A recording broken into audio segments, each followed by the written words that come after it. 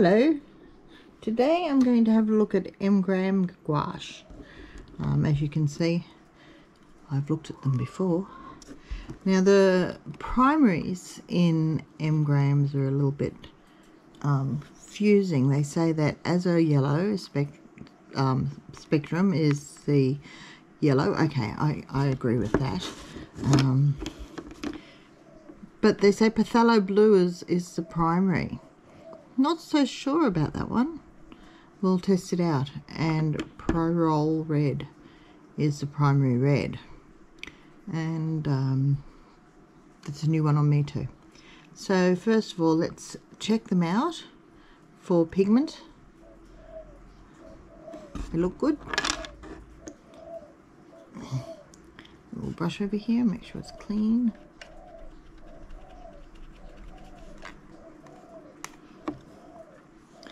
I'll just put a little bit of red there. Put the lid back on. And we'll spread that around. Well, it seems to be nice and pigmented. It is a very pretty red. To me though, it's got a little bit too much possibly orange in it to be primary, but we'll see how it reacts with the others.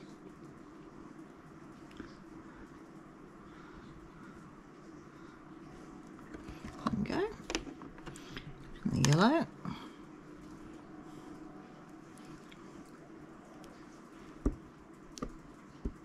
Whoops, whoops, whoops.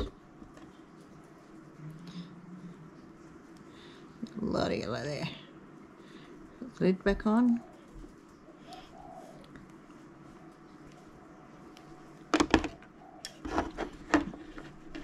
Wipe the paintbrush. I'm just going to move some of this yellow up to the square above it. We can use it for testing mixes. And then it's a pretty colour. Moves nicely across paper, nice and smooth, no lumps. It's a nice yellow.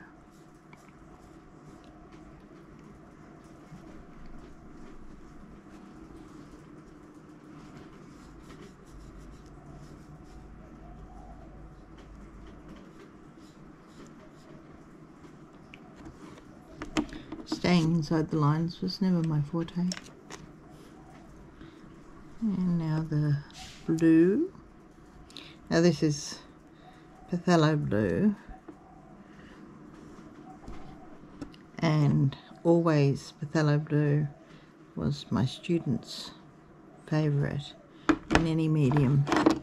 Um, everybody loved it, particularly mixed with a little bit of white beautiful rich blue.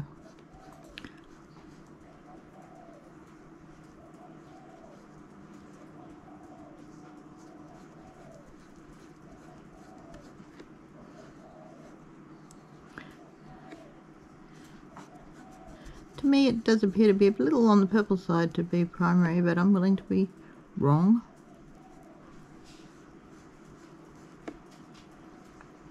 Dried my brush a little bit too much.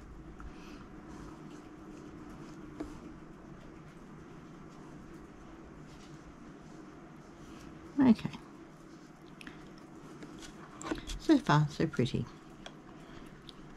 Let's see how the phthalo blue, no, let's see how the red acts with the yellow.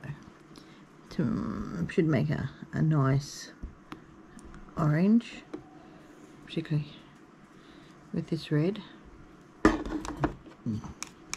One test for a primary is mixing the red and blue together. Whoa, this red is strong. That yellow has got no hope. I have to add a bit more yellow if we're going to get orange. Just put on my palette over here. Don't want to get the mouth of the tube dirty.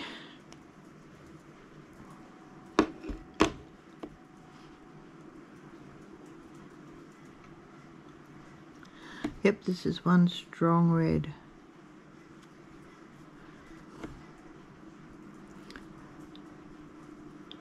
So a little bit of yellow and a lot of red, I'd say, to make a any kind of orange. But there we go. That's a nice strong dark orange anyway. And if we wanted to make a lighter orange, much more yellow.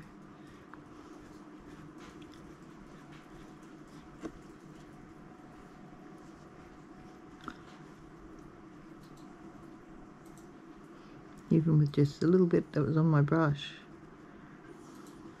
The red is still coming through fairly dark.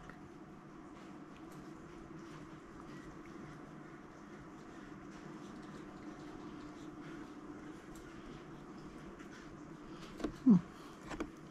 We'll let them dry.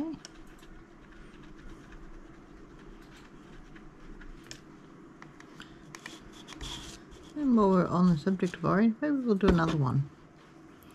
So one with mainly yellow. And just a drop of red. Seeing it's so strong. So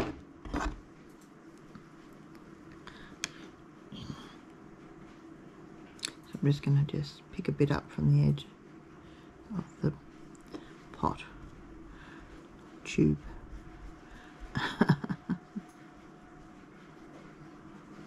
and you can see what's happening Nice orange, but it's a very red orange. How much of this yellow do we have to add? Okay, I'm not giving up. So let's check how much you can see. The same. I'm not going to add any more red to my brush. Just what's left from there, from that one.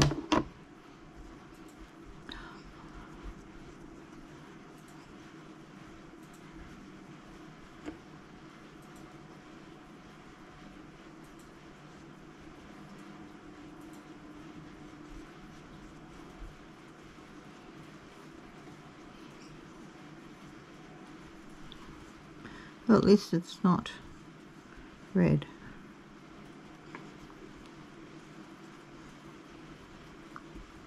It's almost an earthy orange. Okay, let's get away from our oranges. Let's test the red and blue.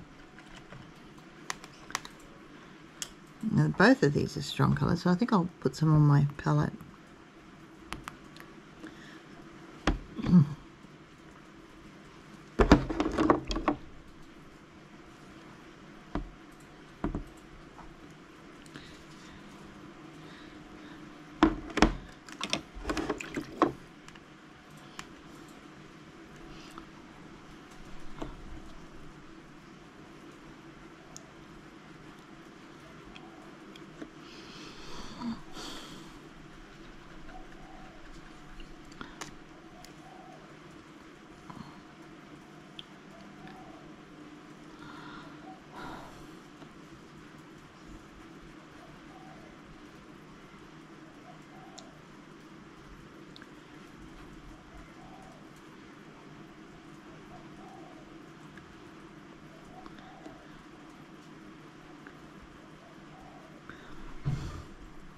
Gonna have to wait for this to dry. At the moment I'm getting too much glare to actually see what colour it really is.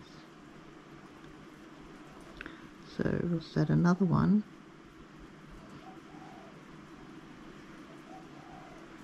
Maybe with less blue. They're both such very, very, very strong colours. The slightest amount seems to set them off.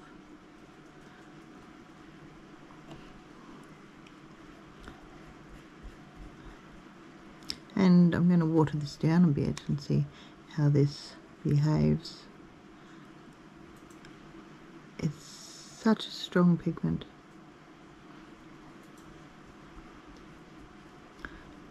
So this is almost almost watercolor consistency and it's still really really bright.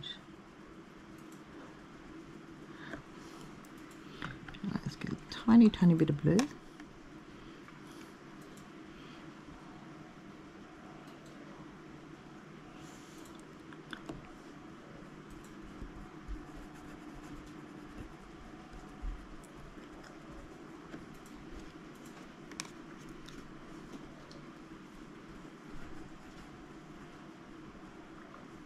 Yes, I, I don't like this red as a primary red.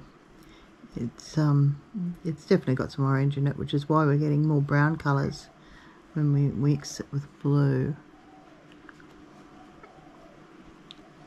A little bit more blue.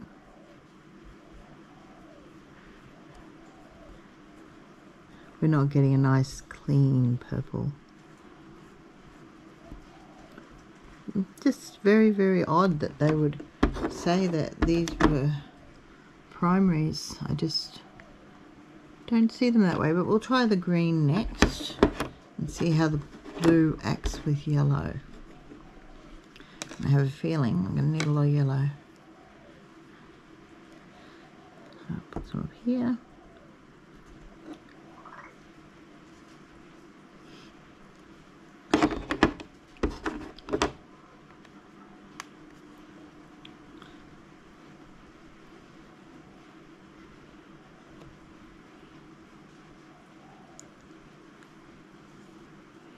something a bit different.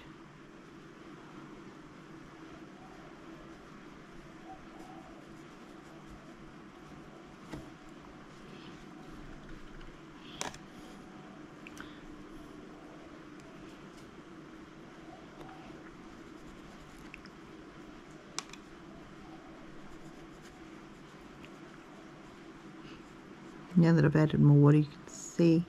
Why this blue is so popular? Becomes a with more water or with white. Beautiful blue.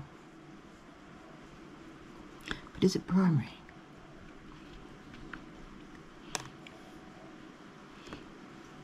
Let's have a see. Oh, it does make a nice green maybe it's the red that was throwing me off.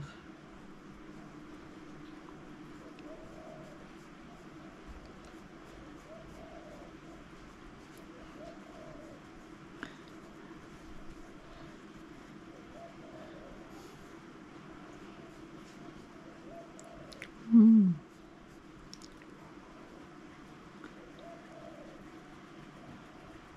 No, I, I don't think it's as vibrant as I usually get when mixing primaries together.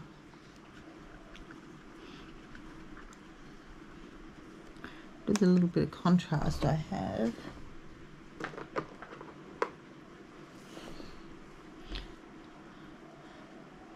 The purple. This is what I would expect when mixing blue and red. Mm -hmm. You see over there?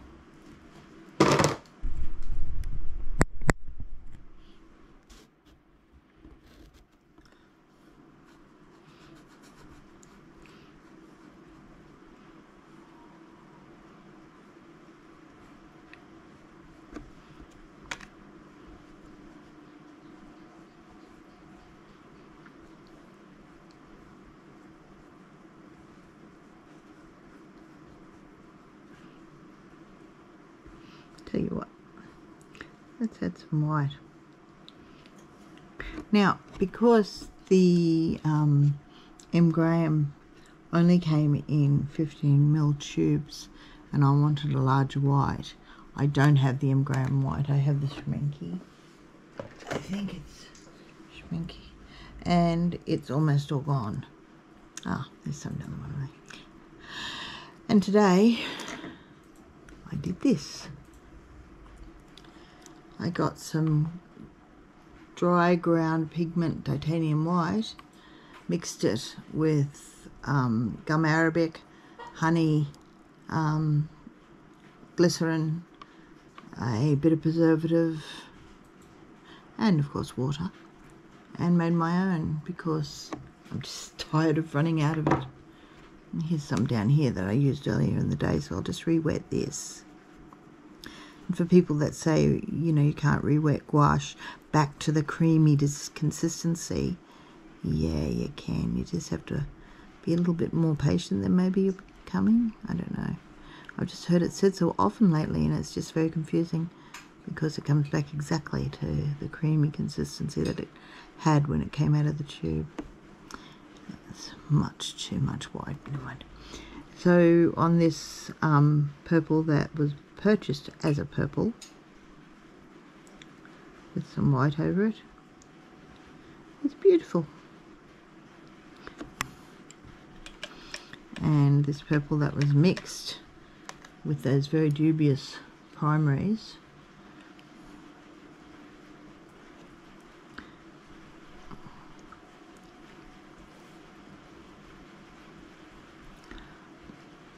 Mm, I don't know. But to me that is not purple. It's purple tone. It's a, it's a warm purplish. It's not the lovely sweet purple that I was hoping for. So um, nothing wrong with the paints. I just wouldn't get a primary set of them and expect to be able to make every colour fairly easily but they do have a lot of different colours. Um, this is a particular favourite of mine. Put a little bit of that down, show you.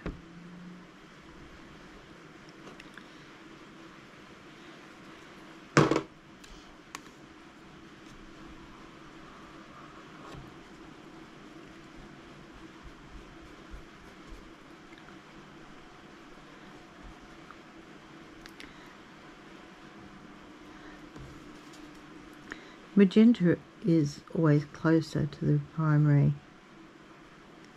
than any red but this rose is a little bit more magenta-ish. So let's try and make a orange out of that because I have no let's try and make a purple because I have some blue too. Blue's strong so. I'm betting it's going to make a better purple than the primary red.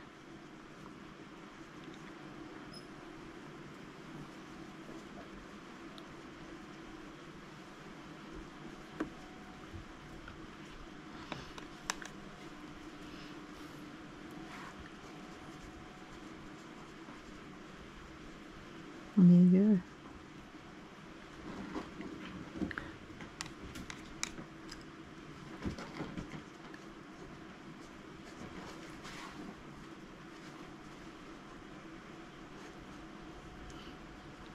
If you can see that I've done anything wrong here that would make it react like this, please let me know in the comments.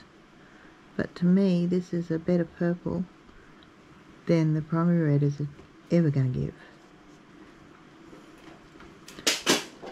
I do, I bet you can get some nice browns with that so-called primary red. Just mix a little bit of white in with that.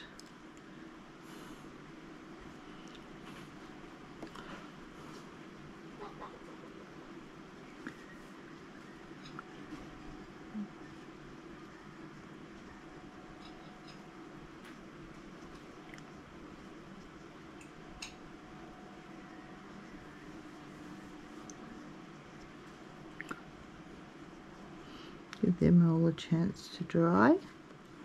Under this light when everything's wet it's just very glary.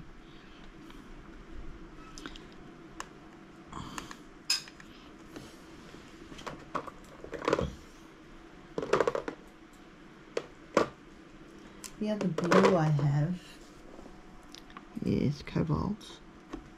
So I'll put some of that down.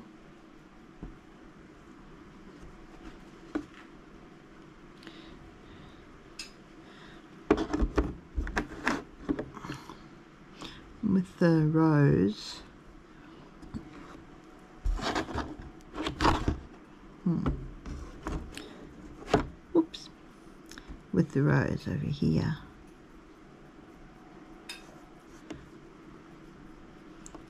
rose.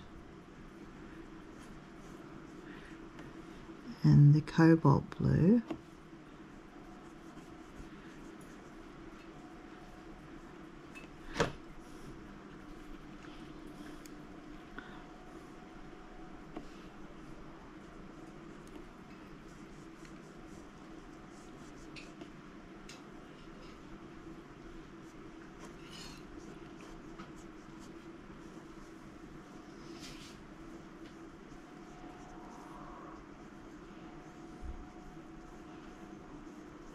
Even better purple.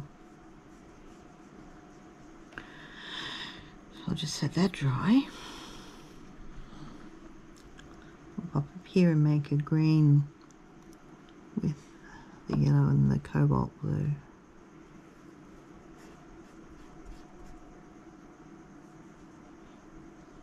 Very hard to go wrong with any brilliant yellow when you're mixing.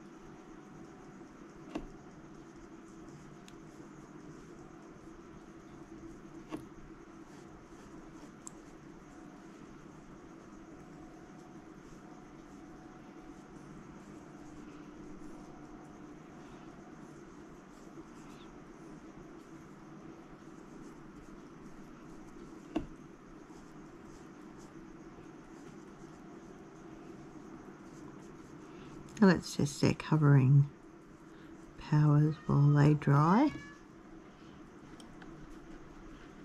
I've already started down here accidentally. So when layering and not blending we need less water, less fiddling, more just putting it down and moving on because if we fiddle too much or use too much water that will reactivate the bottom layer and it will start blending instead of layering. I won't try the white because it's not M. Graham white.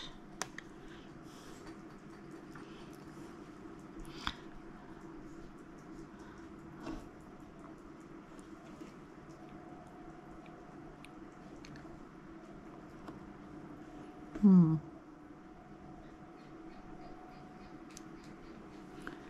So it, it lays over, it's does its job as gouache there.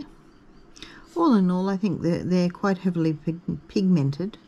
That's where I've added a bit too much water. There and there. Too much water. And But they are very heavily pigmented. They go on nice, they're smooth and beautifully smooth. I know from experience that they will dry on your palette and re-wet to a nice creamy um, consistency like you needed to. Here's a pink that I was using earlier in the day. Once again, it hasn't got the... Hmm, let's try the green then because the pink doesn't have the... It has white in it and I don't have the M. White so I must have used the Schmincke or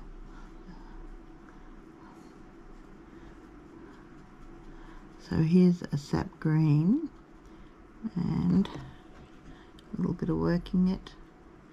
What you can do um, instead of working it a lot to get it to creamy consistency again is just spray it and walk away.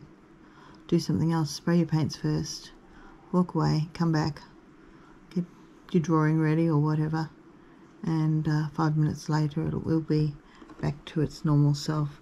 Let's try overlaying this creamy, gouache. So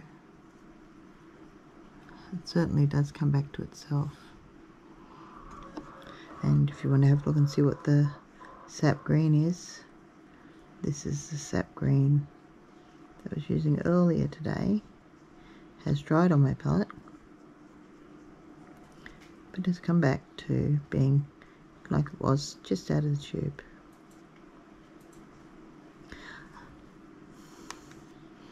Now they're one of the more expensive, but not the most expensive. I think they're well worth having. Um, check through the colour list and see what colours that you might be lacking in other sets that you can make up with with these but I wouldn't use them as a primary set for mixing but they have some pretty colours and can be worth a look. And I hope you've enjoyed this. An odd looking little page we've got here. So that's a M. Graham paints. I got them on Amazon because I can't buy them locally. Um, in America, you can definitely get them locally because they are made in America. I believe it's a semi-small family business, or it may have grown since I read up on it. Um, and they're made with honey to a very old recipe. It's the same recipe I use on mine. And that's all there is to it, I guess. Happy painting. Bye.